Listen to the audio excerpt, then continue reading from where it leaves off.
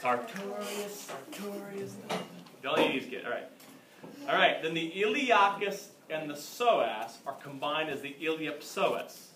And what those are, those are actually inside your hip. If you if you've got someone, they'd be iliacus from your hip, ilium.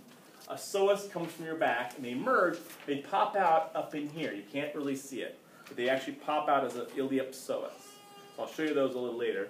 These muscles on the inside of your thigh bring your legs together. We call them your purity muscles.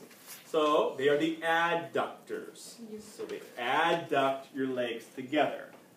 And there's a big one in the back and a long one in the front. So how do you say the long one here? Adductor longus, and the one back with the adductor magnus. You can't see the brevis. This one right down the middle of your thigh. That is your gracilis. Your gracilis is actually down the center of the middle of your thigh, adducting your thigh. So what do you call the muscles in the front of your thigh? What are those? Those are your what? Quadriceps. So I'm going to shift models here. So unfortunately, they don't have one just like that.